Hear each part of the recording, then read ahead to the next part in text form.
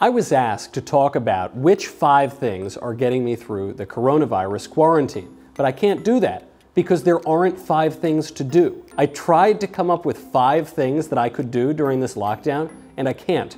There aren't enough things. So the main thing I'm doing is working. Fortunately, the governor of California decided that podcasting is an essential service, which I'm a little skeptical on, but that's fine, I'll go with it. So I've just been working a lot. I never thought that I would want to be at the office, I would want to be working, but it's just a way to break up being at the apartment. So I like that. And I think whichever of our sort of galactic overlords invented this coronavirus, I think the point of it was just to get us all to work and sleep and work some more. So that's the main thing I'm doing. Obviously, uh, you can do all of that just right on the computer in front of you. I got to write a book. You know, my last book was very easy to write.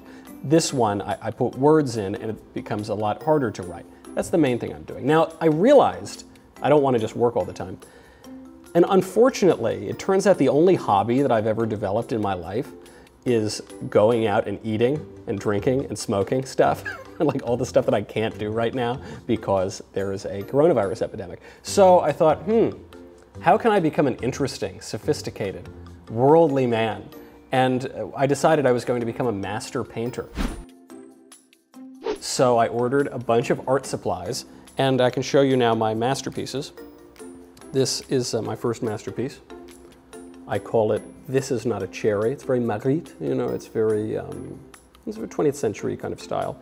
Uh, I also uh, was able to paint it because I downloaded a YouTube video and just did what the guy told me to do. So that was the first one. Uh, my next masterpiece I call Pitcher, I Hardly Know Her.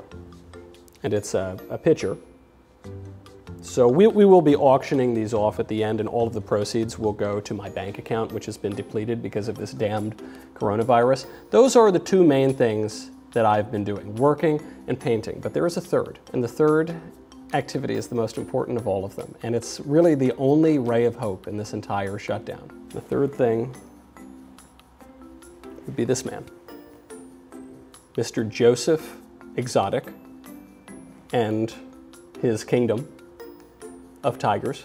I have watched every single episode. I'm probably going to watch them again. This, I think, is kind of what our overlords want us to do. They want us to just work and then stay in our apartment, not go anywhere and not do anything.